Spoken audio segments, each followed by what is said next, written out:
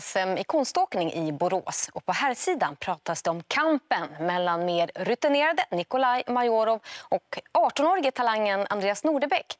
SM är också uttagning för EM nästa månad och det finns endast en biljett till mästerskapet i Finland. Nikolaj Majorov, covid-smittad under Europamästerskapen i Zagreb.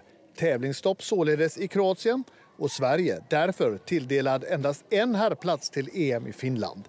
Biljetten till Esbo står sannolikt mellan honom och unge talangen Andreas Nordebäck. Ja, det, det, är inte mitt huvudjobb just nu, eller huvudtanke till och med. Eh, jag är här och nu. Eh, det som sker sen, det är, det är en tävling. Det här är en idrott. Alltså det är, Ehm, det är prestationssport. Allt kan hända, man vet aldrig. Alltså det, är, det är därför jag inte ser vad som kommer hända vad som kommer hända sen. Utan jag är här, imorgon är det ett kortprogram och på lördag är det ett friprogram. Och sen så är det upp till förbundet att välja. Så jag ser inte så mycket på det just nu. Jag ser här och nu SM.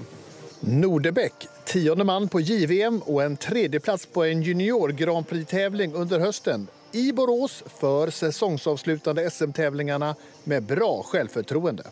Såklart, eh, det är alltid möjligt, men det är inte det jag lägger fokus på. Utan jag tävlar alltid mot mig själv och eh, jag kommer hit för mitt bästa. Sen litar jag på träningen och eh, ja, om det går som jag tänkt så tänker jag att jag tar biljetten. Tvillingarna Greta och John Crawford siktar också mot EM. Sverige svältfött på internationell parframgång. Senast en svensk duo tävlade i olympiska spel var 1952 och en internationellt tävlande landslagsduo har saknats i 15 år. Det är vårt första EM och det är vår första riktiga säsong som senior. Det kommer vara vår största tävling vi någonsin har varit på. Och såklart vi vill göra, vill göra bra när vi går dit. Nederländerna-baserade duon var VM-kvalificerade 2021.